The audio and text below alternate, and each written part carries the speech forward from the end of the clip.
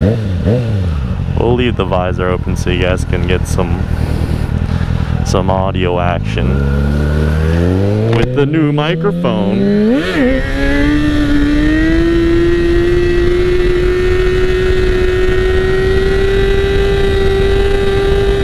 How does the audio sound, guys? Can you hear the wheelie? Bridge has like bumps on it. Always gets sketchy.